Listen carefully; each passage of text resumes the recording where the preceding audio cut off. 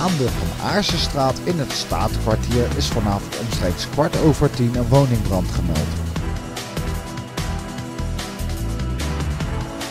Brandweer ging onderweg om polshoogte te nemen.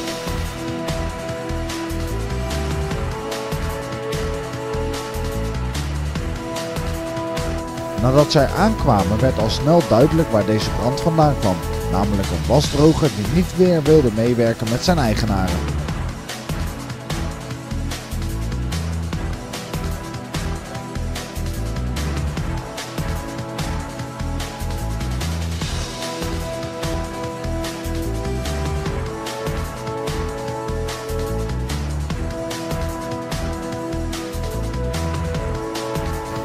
Brand werd geblust waarna de blusploeg weer snel terugging naar de kazerne.